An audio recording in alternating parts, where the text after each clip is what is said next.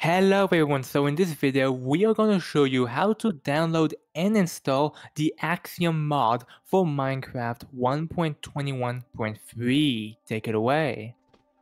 Yep, so the process for this is relatively simple. What you're going to want to do is open up your browser of choice. I will be using Chromium for this. And you're going to want to type in modrinth. Once you are on this page, just click the top result, modrinth.com with this logo. And you just click on discover mods. And you're gonna want to type in axiom once you agree. And here it is already.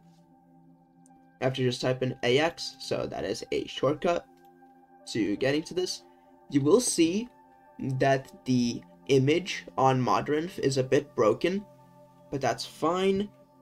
So um what we're going to do is we're going to click on versions and we are going to choose this one for fabric.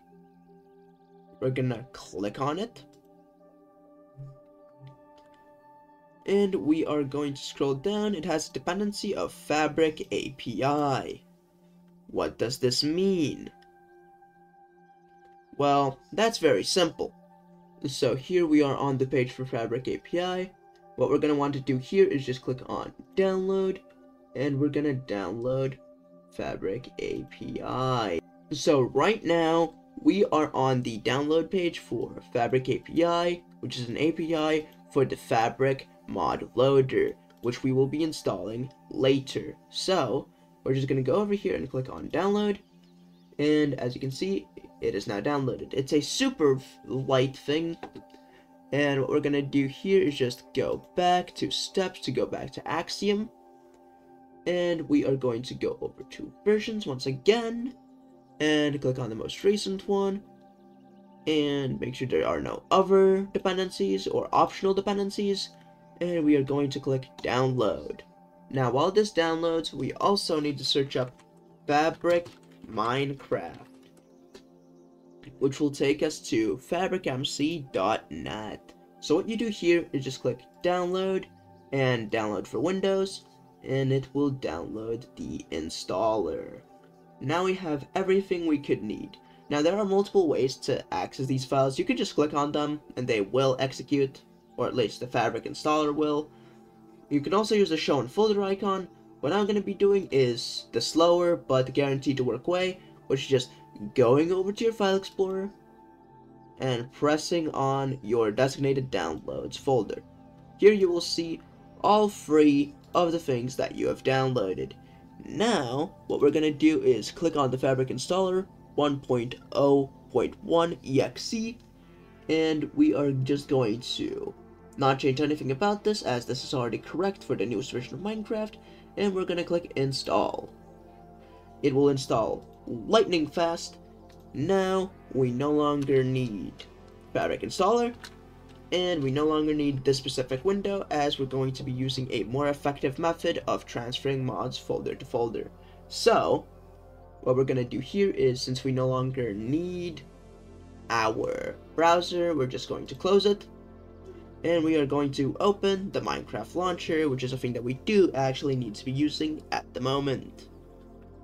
So while this loads, just remember about the gifts that you wish to receive on Christmas. Maybe write out your list for Santa. So remember, make sure you're on Santa's good list this year. Don't be on the naughty list. You don't want to receive coal. And so, as you can see, your fabric loader dash 1.21.3 will be here. Now, you're going to want to click on installations and you're going to want to go to this show and folder icon and it's going to take you here what you're going to want to do is click on mods and then you want to click on the downloads folder which will take us back here. We select both of these files and we cut them and then we click this back arrow which will take us right back to mods. Then we right click the empty space and click paste. So now now these mods are here and they are no longer within our downloads folder. Pretty cool right? Now, what we're going to do is super simple. We're just going to launch the game. Now, while the game launches, remember to take out your candles.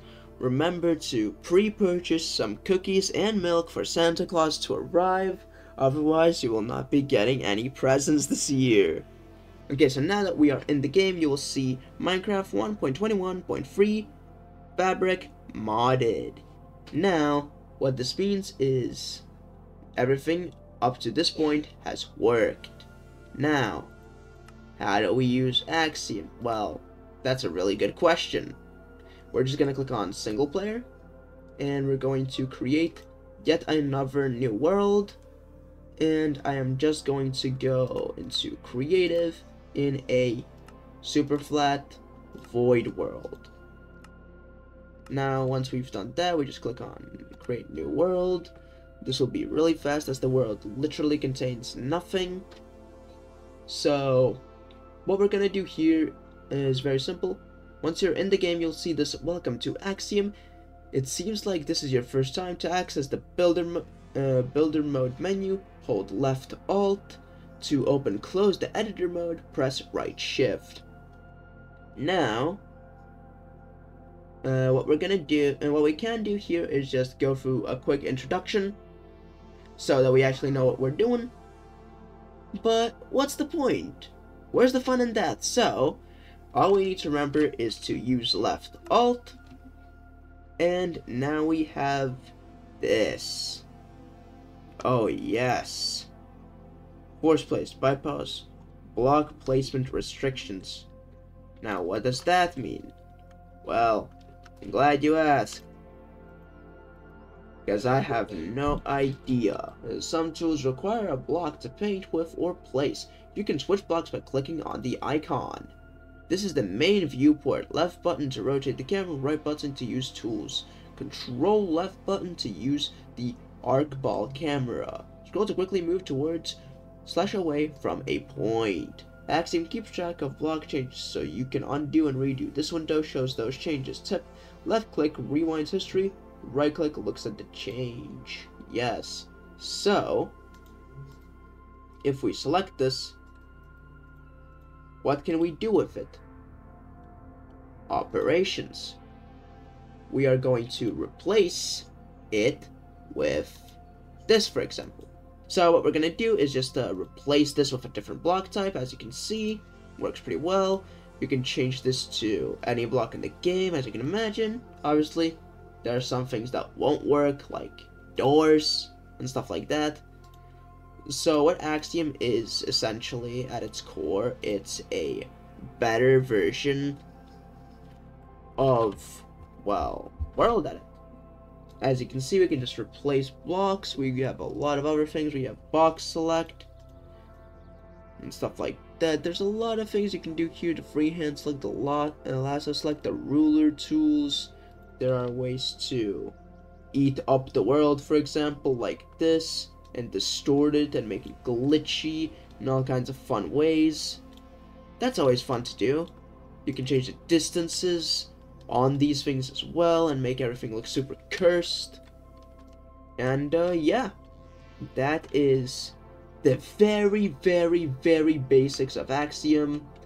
Keep in mind, I don't know much about the mod itself, and there are way more qualified people to teach you about it than me, but I have shown you how to download it.